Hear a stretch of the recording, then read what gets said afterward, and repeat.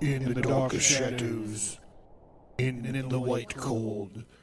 Fearlessly we search for knowledge new and old. We drink the strong spirits and read ancient tomes. The order, order of the Abercast. We are the brave and bold.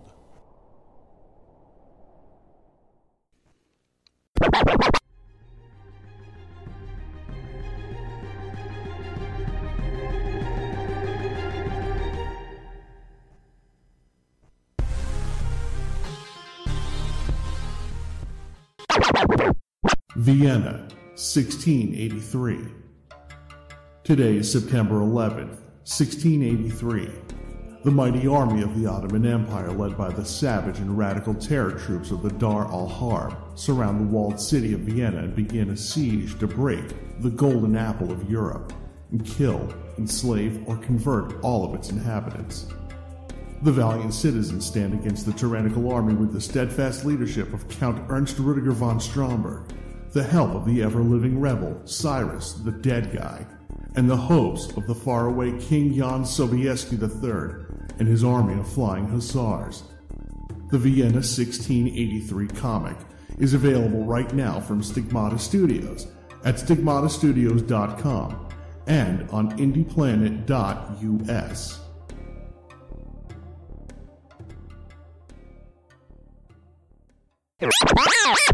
The Non Standard Squad, 1944. World War II. Three weird American soldiers are on a search and rescue mission into the oldest and darkest regions of Europe. A cursed, ever living warrior, Cyrus the Dead Guy. An experimental warbot, Sergeant Lane McCord. An all red axe, mysterious rogue with a demon possessed arm come face to face with an army of magically corrupted machine obsessed elves, a magic hammer wielding Norse Ubermensch, and a Nazi wizard who is a member of the ancient Dark Order of the Shining Hexagon. The Non Standard Squad 1944 comic is available right now from Stigmata Studios at stigmatastudios.com and on indieplanet.us. 100,000 BC, stone tools. 4,000 BC, the wheel. 900 AD, gunpowder, a bit of a game changer, that one. 19th century, Eureka, the light bulb. 20th century, the automobile, television, nuclear weapons, spacecrafts, internet. 21st century, biotech, nanotech, fusion and fission, and the M theory. And that was just in the first decade. We are now three months into the year of our Lord 2023. At this moment of our civilization, we could create cybernetic individuals who, in just a few short years, will be completely indistinguishable from us.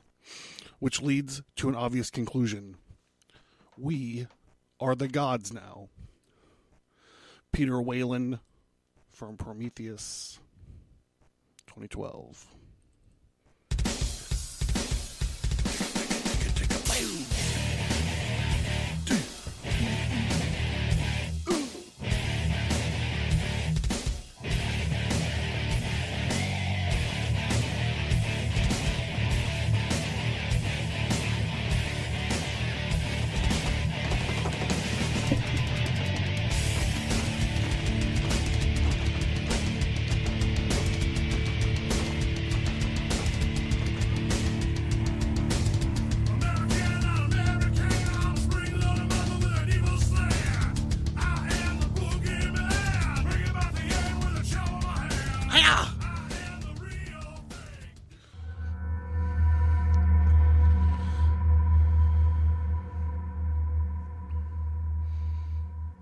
The Abercast.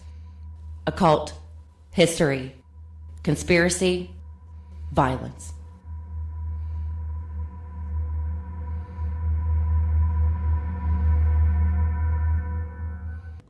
I like to burp.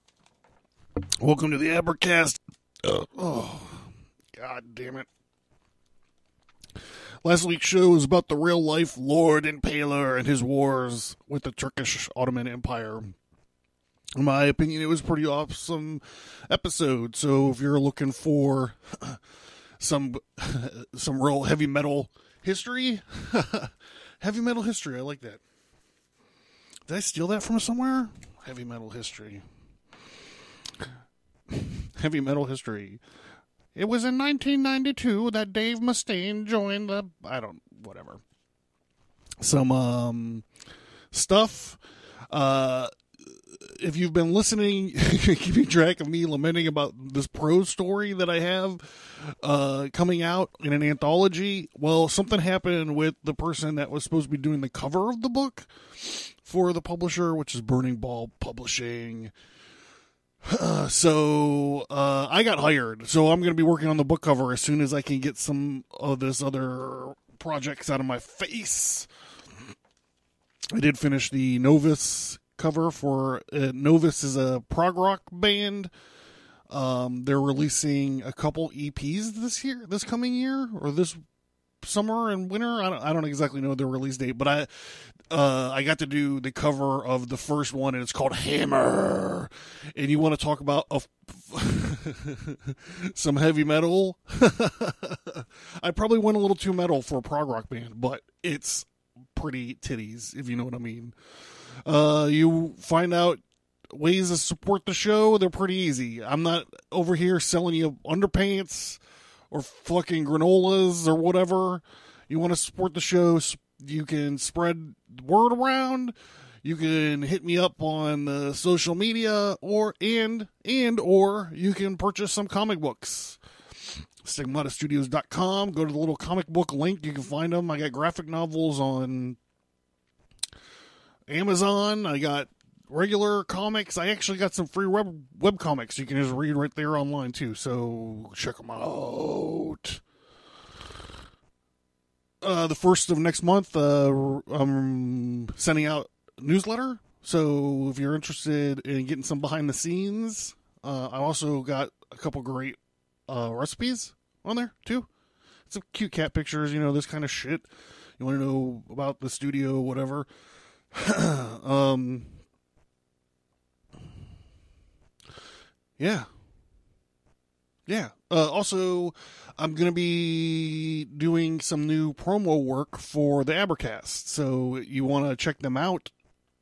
Check them out on, check me out on Instagram or Facebook. I'll be posting them there. They're going to be like one minute audio clips with the cover of the graphics of the show. I'm to try to find something funny in the show to, to, put on there. I don't know. So the show, um, I'm to try something new with the ads. So, uh, for those of you guys who don't like the ads, whenever we switch into the next section of the podcast, try something a little bit different today. Podcasts, they're like relationships. You got to try new stuff all the time to figure out what works. So, you know, we're 34 episodes in, you know, and the uh, listenership is on the on the right track uh, at the end of every month, I print out uh, uh, I print out this bar graph and I try to f- figure out what the fuck it me- all means.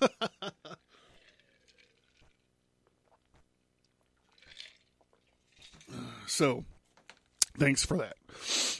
Um, so after watching Alien Covenant last weekend, I thought it would be inappropriate. I thought it would be appropriate to do a show an episode about the origin of life, or at least this uh, theory of panspermia. And that's when life comes from outer life comes from outer space, like Prometheus showed us.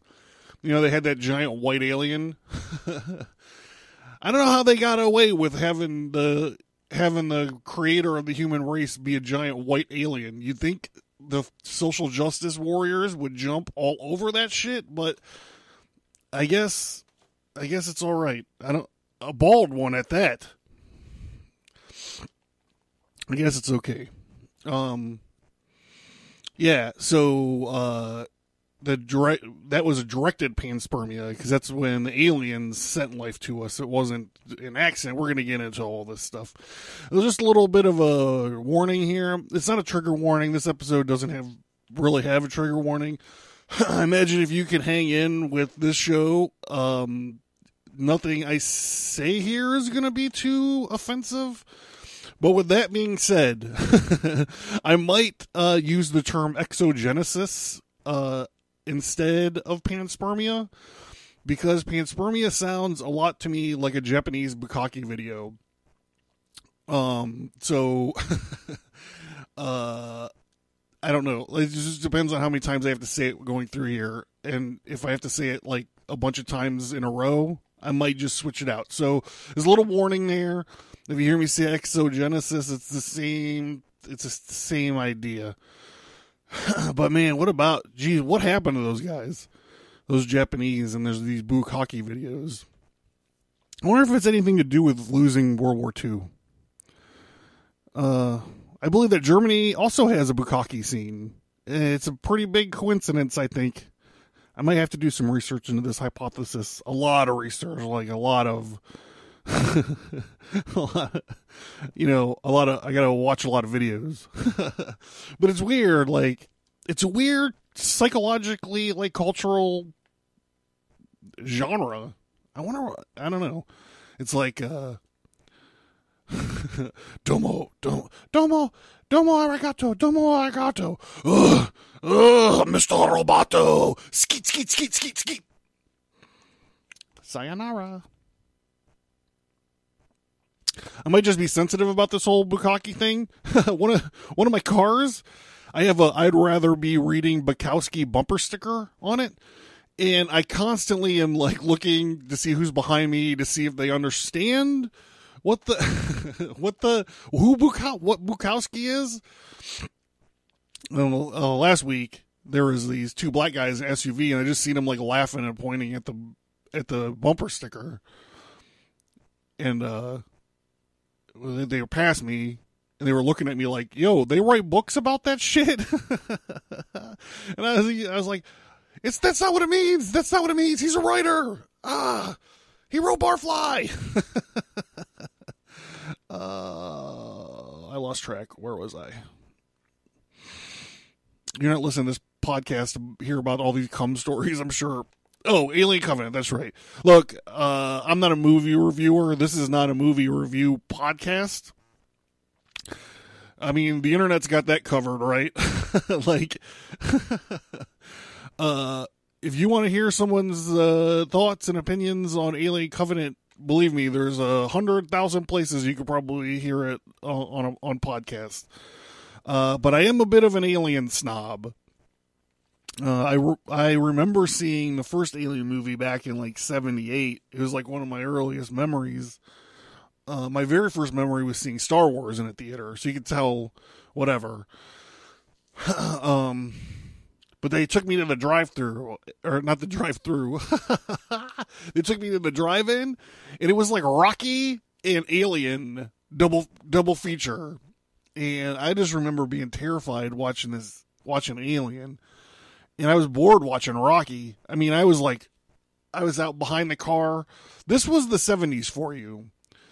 Parents making out or doing whatever they're doing in the the Gremlin and a little, I'm outside, four years old, outside eh, in a drive-in movie theater, playing in a pile of poison ivy. Man, that poison ivy was the fucking. I hated that shit. Uh, why would you take your four-year-old to go see aliens anyway, or Alien, anyways? Oh God. All right. Yeah, I'm an alien snob. So let's get a few things straight. It takes way more time than 20 minutes from getting your face raped by a face hugger and for a chest burster to pop out and ruin your day. And in Covenant, they actually do this. They say the guy, like, they cut, like, the guy is getting his face raped by the face hugger, and then they cut to, like, the other people, and they're like, hey, let's go and find the captain. We'll meet back here in 20 minutes. And, like, within that, by the time they get back, this chest burster's popped out. It's grown fucking full size. It doesn't make any sense. Haven't they ever seen this first movie? Second item. These aliens are not called xenomorphs, okay?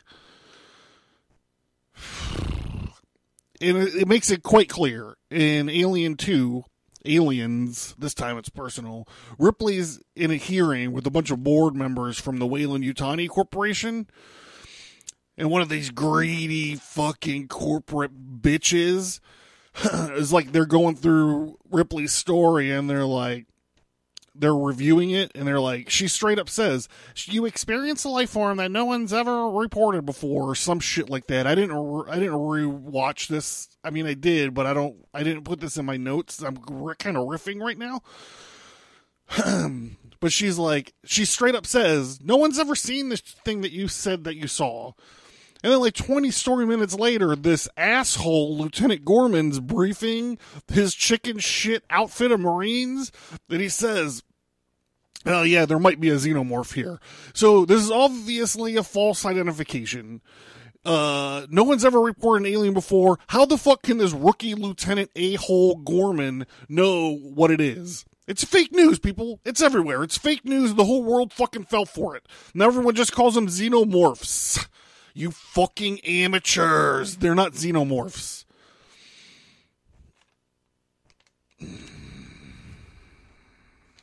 I gotta start doing yoga or something.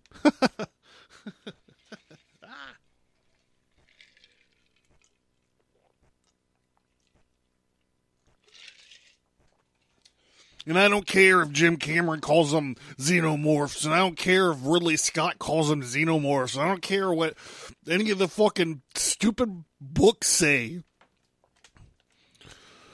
All right, mix up your gin jihad. Hold all the cum. Stir it up.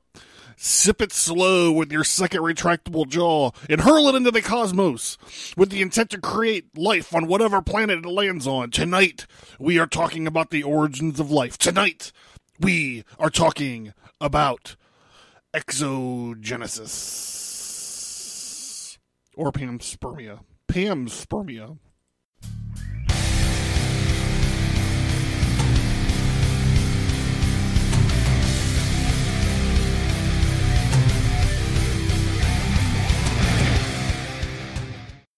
All right, so I had to watch a lot of, I had a lot of watch a lot of uh, Neil McGrassy Tyson, Neil McTyson on this on the on this no, this PBS show called Nova for a lot of the, for this section. You guys know who he is. He's like the rock and roll scientist. They're like, we want Neil McTyson and Bill Nye the Science Guy to be like president and like queen of the United States. He he's the dude that looks like he's the Lando Calrissian of pop science. you know who he is. All right, here we go. Earth, like four or five billion years ago, something like that. Earth was a hostile planet, lava and fire, and there was a poisonous atmosphere. there was a lot of those particulates. Uh, there was a planet about the size of Mars that smashed into our young planet Earth, spinning out and becoming our moon. Now, I got to really say something about this. um, I know I talk a lot of shit on this podcast, but this is a maybe. um, there's a lot of weird shit going on with the moon. Um, but we're just sticking to Neil McTyson's mainstream version of it for now. Um, uh, if you look at my graphic novel, The Ages, I actually explain where the moon came from. It's the eye of God that got sma- anyhow smashed out.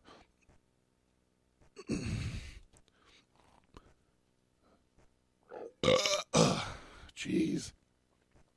The Earth was a red planet.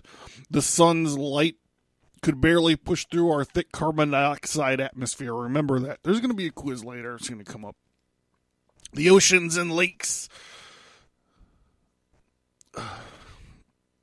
were green and brown and sludgy.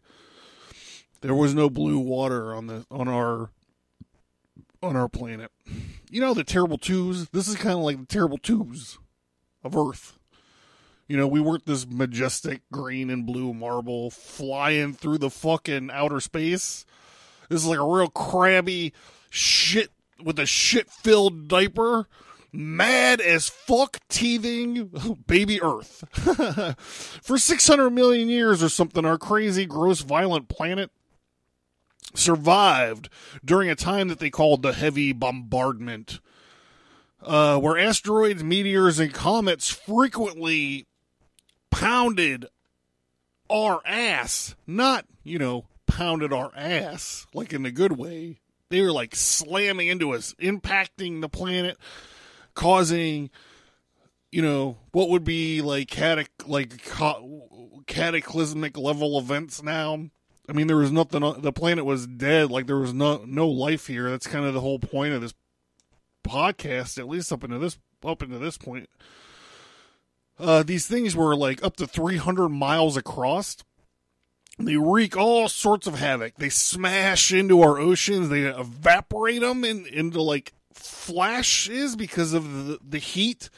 And they slam into our surface, surface and they melt they melt the slag because they come in so so hot. Imagine a 300 mile across fucking thing hitting the hitting the planet.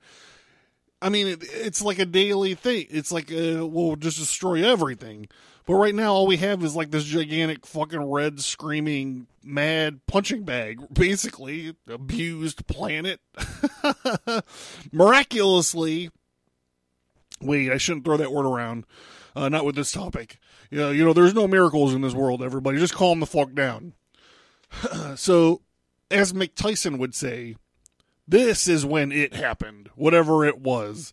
Whatever took a few handfuls of inanimate components and um, and made it alive. It may be a Frankensteinian, a Frankensteinian lightning bolt. A person who believes in the power of God might say that it was his will to breathe life. Can I get an amen? In tonight's podcast, however, this interceding or interloping principle comes from space. the idea that life came from outer space isn't such a revolutionary one. Uh, the Greek or the term itself is actually old Greek panspermia. the term um, it, it, essentially it's the idea that life started at one point in the universe and spreads out distributed by meteoroids or meteors, asteroids, and comets. Just take a quick sidetrack out there for everybody. This is sort of like the conceit of Star Trek, I think.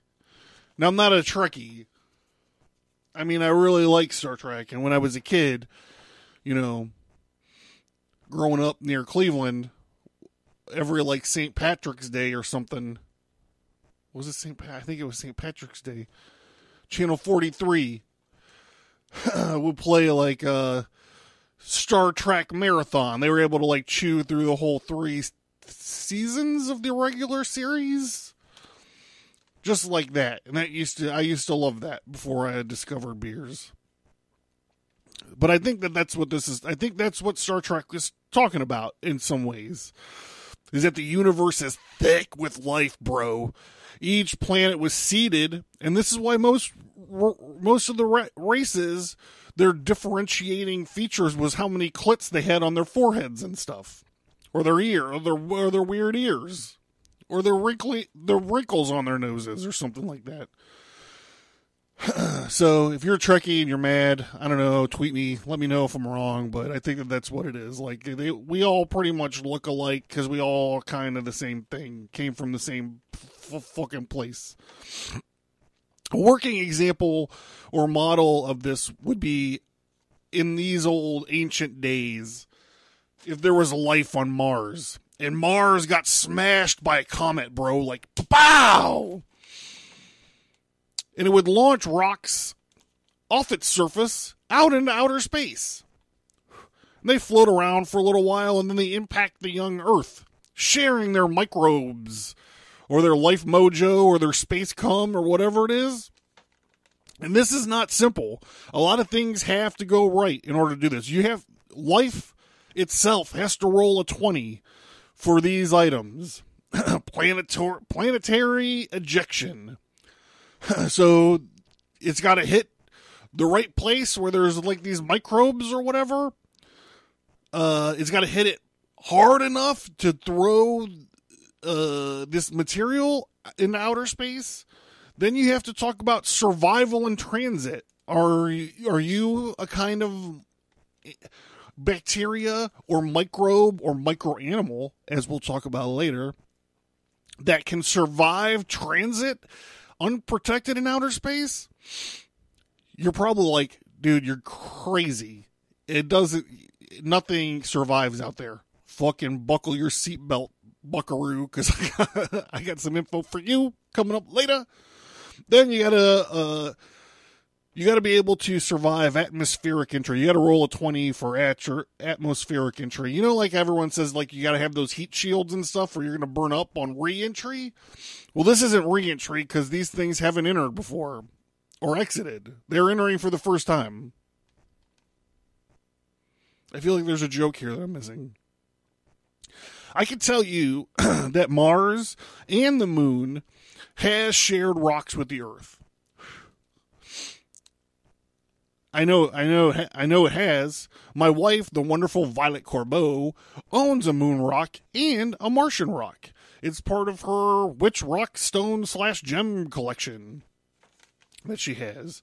Uh, and also, like in the 90s, I think they found, they also found a meteor from Mars and it had fossilized little microbes. I remember vividly uh, Bill Clinton standing out there going like, "Oh, there is life on other planets." He's probably trying to distract the media from one of his fucking many scandals, scandalous behavior, illegal behavior.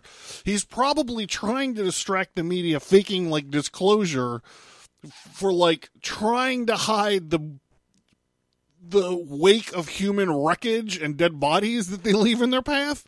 Uh, but I remember it, so maybe I guess it worked. I also know that the space station, here we go, we're going to get into it. The space station, uh, there's also been experiments in Antarctica and in Japan where they've been doing exposure experiments, uh, where they're putting a lot of, there's a lot of these variables, but, quote, the data supports the likelihood of interplanetary transfer of microorganisms within meteorites, unquote. So there you have it, folks. No, so this thing in Japan, what they do is they have a centrifuge, and they put they put these microbes or whatever these bacteria is inside like a vacuum inside the centrifuge, so it's like spinning, like something's traveling through outer space, is spinning so fast. And these things are actually growing. Uh, there are these uh, animals called extremophiles uh, that not only survive but they thrive in these crazy environments. The, they have these tube worms underwater that like live on these volcano jets, which sounds metal as fucking fuck, legit and metal as fuck. I'm a tube worm living in a volcano jet underneath the ocean. They have these creatures that live in highly acidic environments called like snototites or something. I didn't write this down. Um, uh, there's creatures that can withstand crazy high pressures, like super deep sea fish. Like these super deep sea fish, like they can go underwater so deep, like our our we don't even have research submarines that could get down to where they are. That shit's crazy, yo. That's where Cthulhu's hanging out.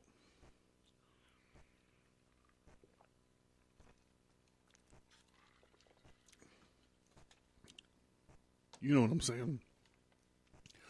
Then there are other there's these other guys. They're called micro animals. And they have this like they have this bug. It's actually kind of cute looking. I mean, it's terrifying. And if it was the size of a horse, uh I would be freaked or a dog or even my cat. If it was any size that I could see it, it would freak me out. But knowing that they're little super tiny guys, they don't really freak me out that much.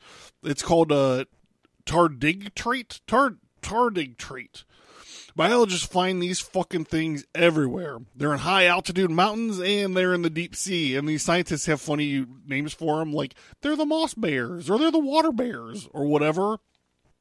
But you can only see them in like these electron microscopes. But they look like these.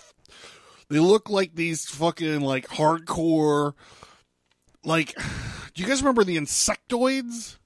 When i was a kid we had insectoids and the whole thing is like there's these action figures and they would ride on these giant bugs winged bugs and they'd be like half bug person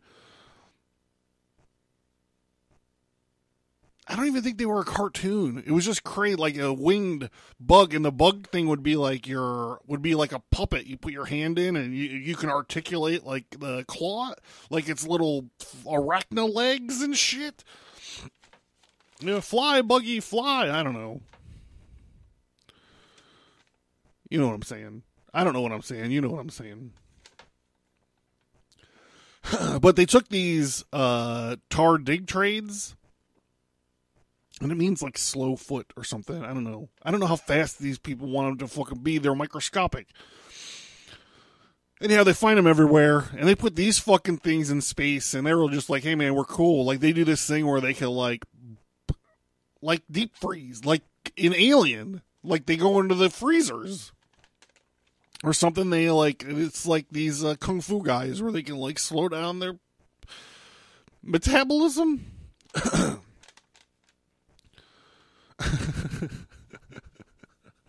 slow down their metabolism. All right, so uh, but these micro animals, micro animals, um, they're different than extremophiles, and this is the this is the line that they make. This is the delineation that they draw, where the this thing specifically this Tardigrade, it doesn't thrive in these crazy at, like atmospheres or whatever. They just survive in it. So they're not thriving. They just kind of like can can survive. They're like little like tanks of the micro bug universe. Little tanks. I like that idea.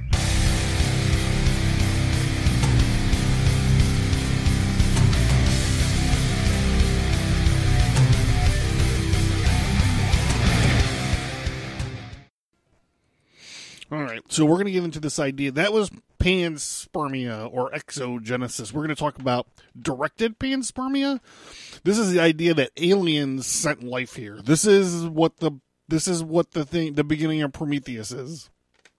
So there was this British molecular biologist, biophysicist, and a neuroscientist named Francis Henry Compton Crick. He was the co-discoverer of the structure of the DNA molecule way back in 1953. He was awarded the Nobel Peace Prize in Physiology in 62 for his discovery of this DNA molecule. He was the first sort of mainstream scientist to posit this uh, directed panspermia thing. If you guys, if you watch enough of these enough of these things, or if you listen to like Coast to Coast AM and you ever hear Graham Hancock talk about this, he he always quote quotes unquote crick often using different words different words for crick explaining uh he he says something along the lines of you'd have better luck assembling a jumbo jet by sending a hurricane through a junkyard than you would than you would by having a DNA molecule coming together by accident or coincidence or some shit like that. Um so I really respect Graham Hancock, uh, but I think it's funny like when he when he quotes Crick, it's not like he really quotes Crick.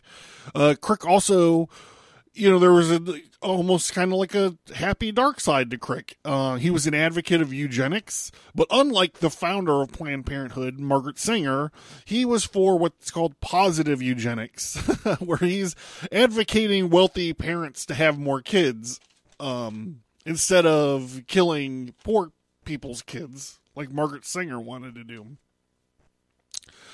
Uh, he had he's got a he was an interesting character because he was a he was a vicious critic of religion and his worldview you could kind of see where uh some of his where he was free to come up with some of these ideas that he had because he was like i said the first guy to posit this alien uh, uh directed panspermia thing.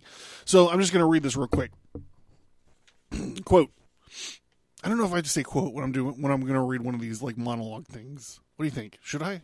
Shouldn't i? I don't know the human dilemma is hardly new. We find ourselves through no wish of our own on this slowly resolve, revolving planet in an obscure corner of a vast universe.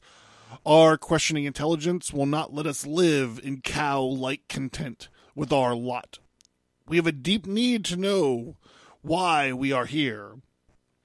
What is this world made of? More important, what are we made of? In past, religion answered these questions often in considerable detail.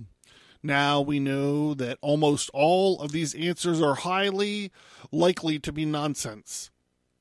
Having sprung from man's ignorance and his enormous capacity for self deception, the simple fables of the religions of this world have come to seem like tales told to children. Even understood symbolically, they are often perverse, if not rather unpleasant. Humanists, then, live in a mysterious live in a mysterious, exciting, and intellectually expanding world, which once glimpsed makes the world makes the old worlds of religion seem fake, cozy, and stale. So you could see where this guy, I mean, he's his worldview is set up for him to him to be looking for answer. He's looking for he's looking for answers. This dude. Um so Crick he the one of the great hold on.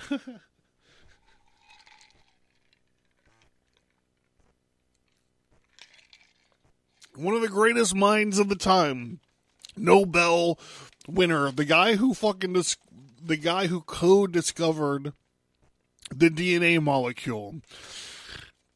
Crick hypothesized this groundbreaking theory the of the story of Superman. Seriously, in the 60s, like 20 years after like Superman was published, he exactly hypothesized the story of Superman. There's this great civilization on the other side of space that was facing some kind of global cataclysm.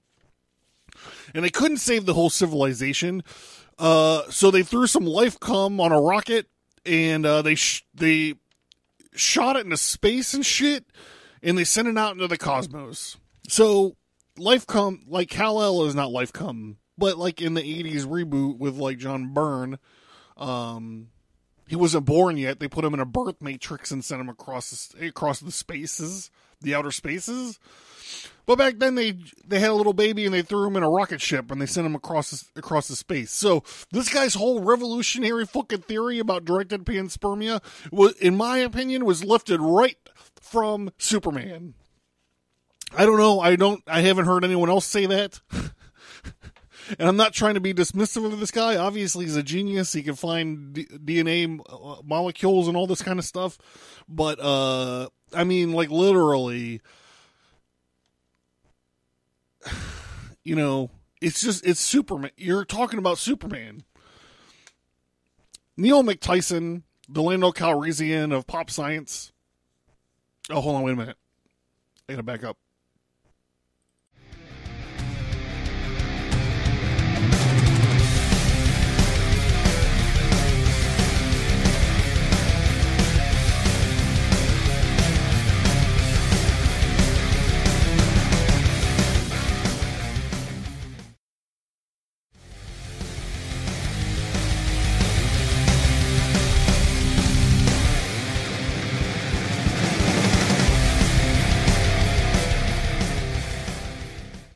Neil McTyson, who's the Lando Calrissian of pop science and the mainstream, look to comet impact, comet and meteor and asteroid impacts of the quote heavy bombardment unquote period of our young, terrible twos, teething, shit filled diaper Earth as like a pizza delivery guy they didn't necessarily bring life to the planet, but they built they brought all these the comets and the meteors and the asteroids and stuff brought all the building blocks of life, like carbon and amino acids and so forth.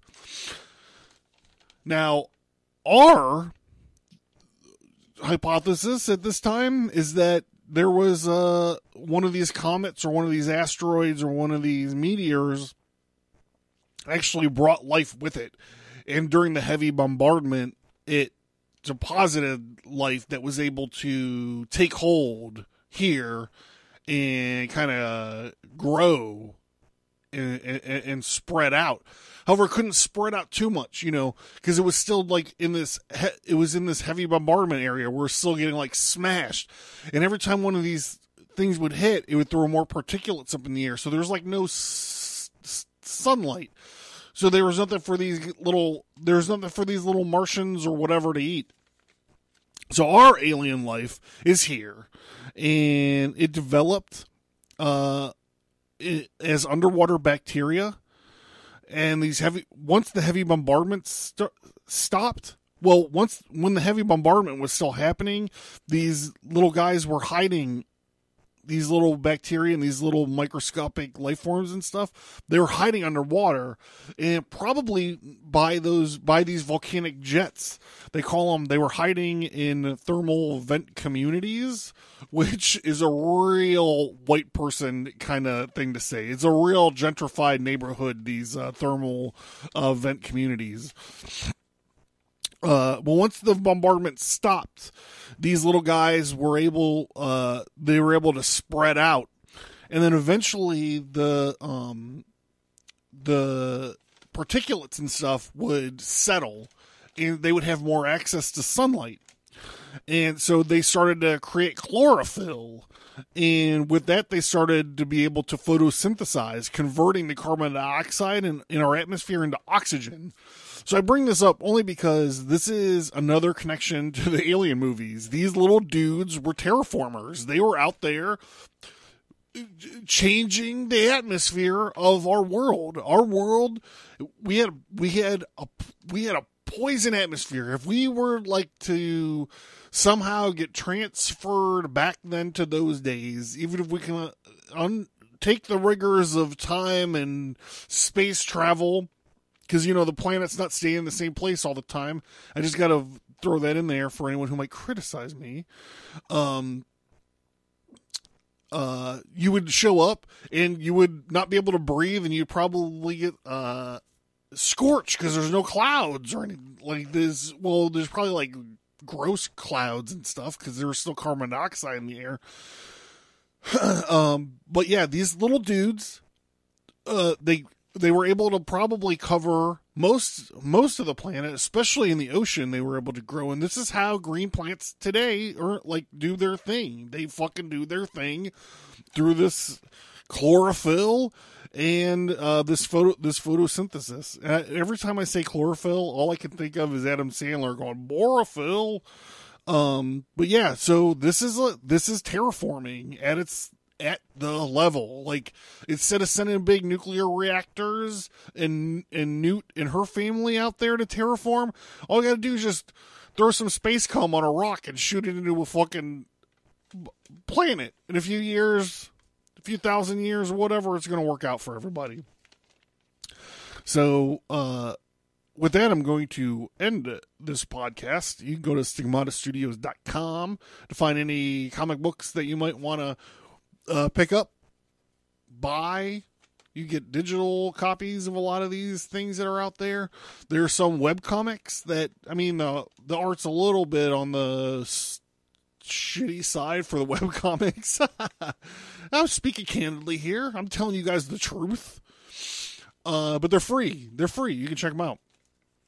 Um, and that's a great way to support the show uh, is to spread the word around. Sign up for the newsletter. Like I said, the first of the month, uh, I'm going to send a newsletter out. We're going to be talking about fucking taco. I'm going to tell you how to make taco rolls like pizza rolls, but you make them with taco stuff, and you make them all at home. It's great.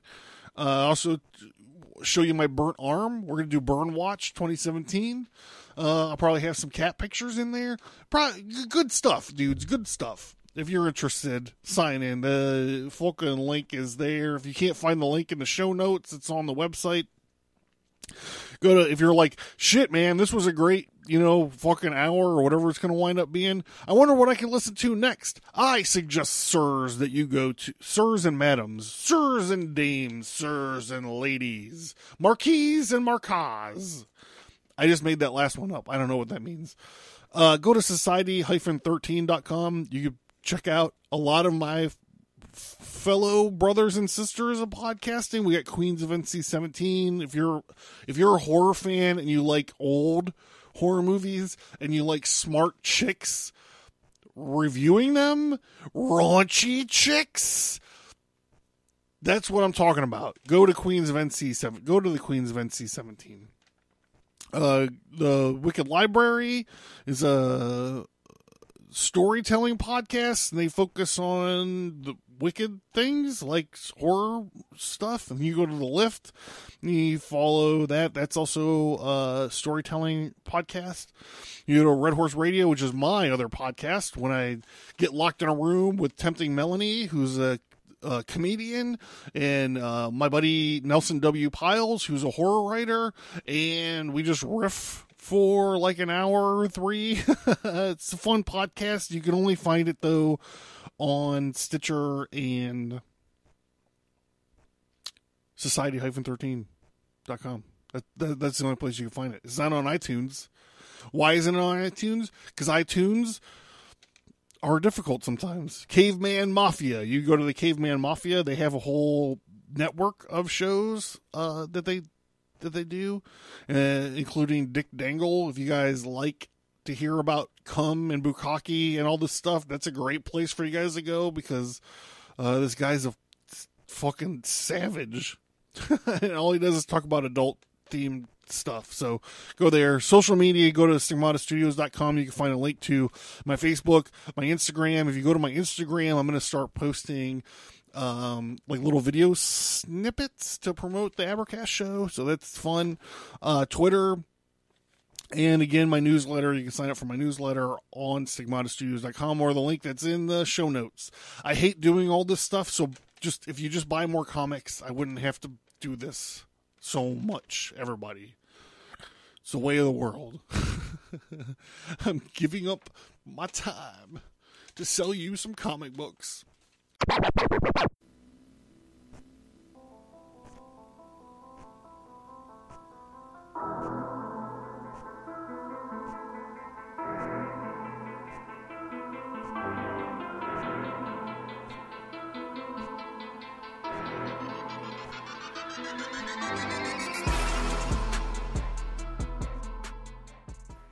The Ages begins with the shocking story of Cain and Abel and the journey of violence and revenge spanning thousands of years, following Cain through his cursed life from an ancient invasion of malicious angels to the American Revolutionary War. A masterful, compelling journey through time, The Ages delves deep into arcane knowledge, myth, and legend. The art is stunning, and the story takes you on a journey where mortals, immortals, angels, and demons are all forced to deal with the folly that is God's creation. It's a beautifully dark and gritty ride through history. This four part story follows the astrological procession of the ages and how each 2500 year age parallels major changes in the development of Earth's inhabitants. Cain's blasphemous struggle with the divine and sacred tyrant God will create and crumble empires, shape history, and cause a cosmic cataclysm.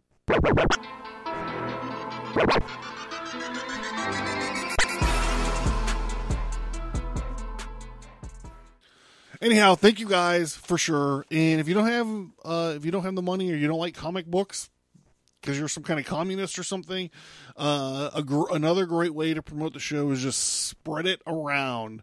If you are a weird motherfucker that likes to listen to stuff like this, then you probably know other weird motherfuckers that would like to listen to shit like this. So pass them a link. Talk to them about the Abercast. The, this is not a cult. I'm not MK altering you. MK altering you. Uh, I'm just saying, let's uh, let's let's spread it around. Let's uh, let's make it bigger. Let's get a community going. Community. And with that, I've embarrassed myself enough. with my singing. Uh, so thank you guys. I don't know what's for sure is going to be next week. Um, but I had fun with this. Thank you guys for listening, and thank you guys for sharing, thank you guys for buying books if you're buying the books. Um, if you're not, please buy the books because I don't want to sell you underpants. I don't want to sell you fucking granola. so please, I'm I write books. So let's just uh let's support the show by buying some books. That's all I'm saying. And with that, I'm gonna go. I'm gonna watch. You know what I'm gonna watch tonight while I'm working? I'm gonna finish inking this issue that I'm working on right now. And I'm gonna watch High Plains Drifter because that shit is the shit, yo.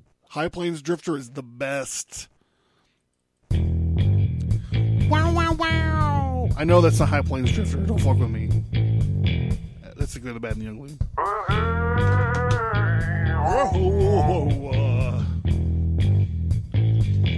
Hey, hey, hey.